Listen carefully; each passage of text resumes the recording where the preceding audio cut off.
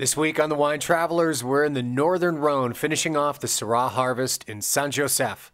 After that, we head off to an incredible winemaker's dinner at the Michelin rated Hotel Bellevue. This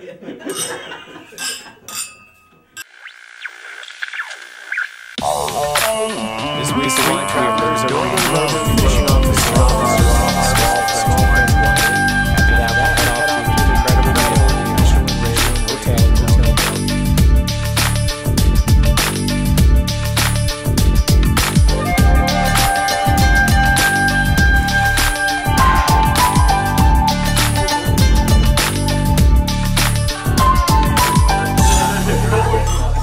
Join us on the ultimate food and wine adventure, the Wine Travelers.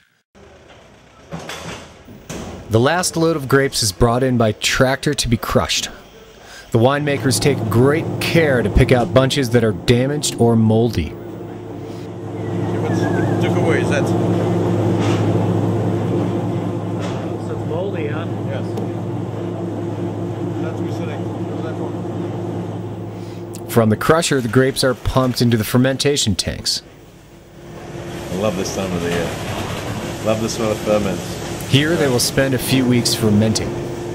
Edouard uses all his senses in the winemaking process. But you you have no no no fermentation actually. The yeast doesn't work yet. So it's only fruit juice. Uh, listen, you know, I was uh,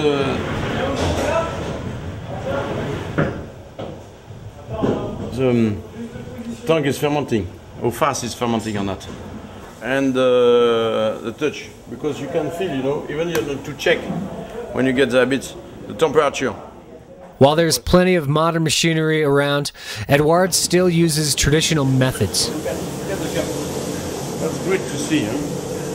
The cup is moving. Look at it's like a. This Serine is from his friend Laurent's vineyard, and it goes into making his Serenay wine. What is nice is to uh, what you handle. You know? How, how do you know when you're done? Voila, it's done. and, you, and you come back at midnight to do it now. you wake me up. Yeah, right. How many hours a day do you, uh, are you putting in now? It depends the day. Sometimes it's uh, 8, 10 hours. Sometimes it's uh, 16, 18. It depends. You know? How about today? Today was quite quite nice. We only start seven this morning, and it's 4:30 actually. So. But it depends what you are doing uh, tonight for dinner.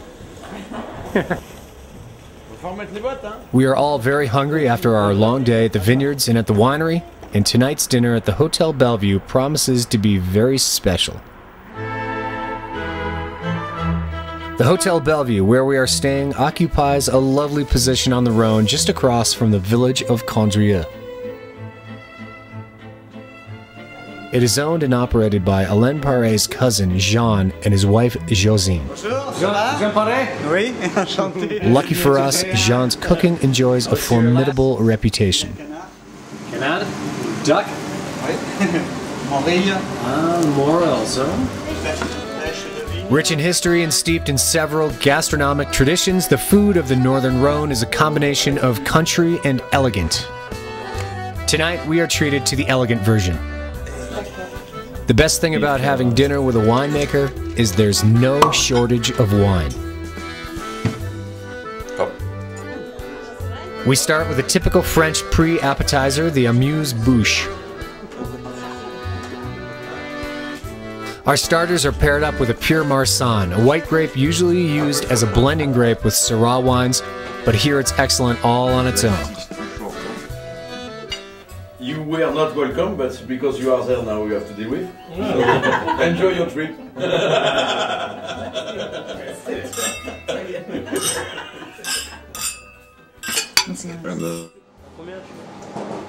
Back in the kitchen, Jean is sculpting our main courses.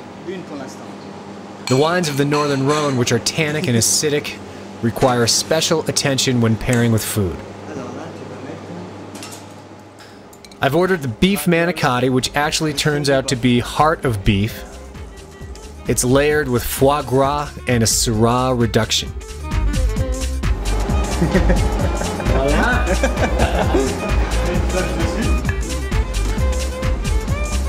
Filet de bar. Also in France, sauce is an important element of the dish, as it often marries the flavors of the food and the wine together.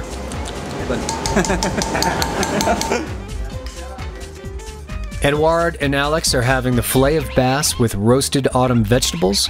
It's covered with a creamy white wine sauce and finished with a sprinkle of fresh parsley.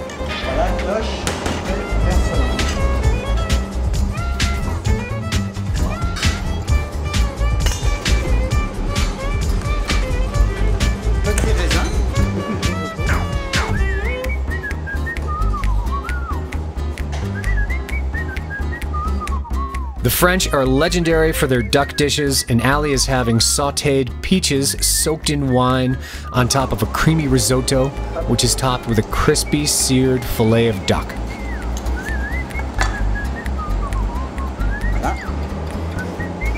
This is then topped off with roasted Syrah grapes and a red wine reduction.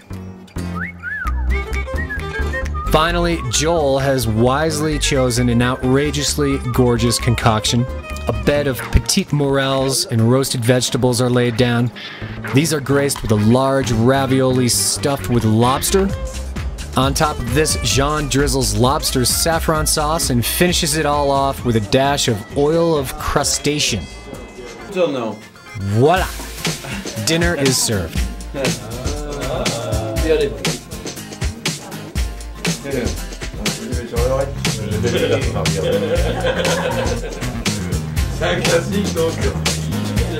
That's a Roche Coupe, you know, the French label for the Roche Coupe quality. And the Roche Coupe is that crazy video. With our main courses, we have Syrah from Rochecorbe, and we also enjoy a Serine grown by Edouard's friend Laurent.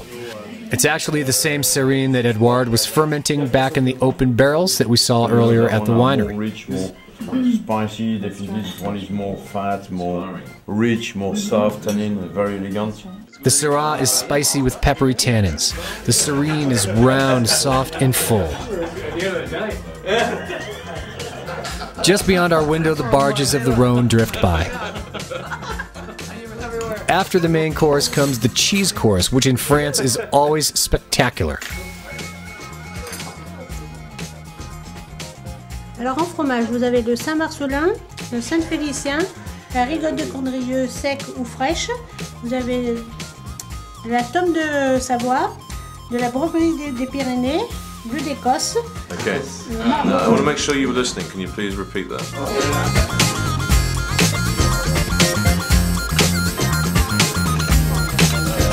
Eight centuries of mold culture on a plate.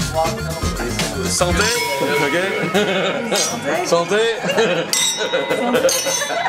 C'est Notre-Dame de Paris.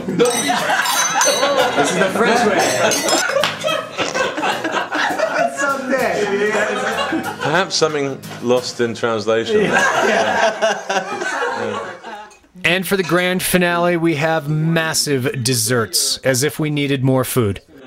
Chef Jean's son is a dessert We master. can say artist in dessert. Even by the end of our trip through Europe, this will stand out as one of the most amazing meals we had. When we return, we'll visit a goat cheese farm and taste more wine. Only here on the Wine Travelers.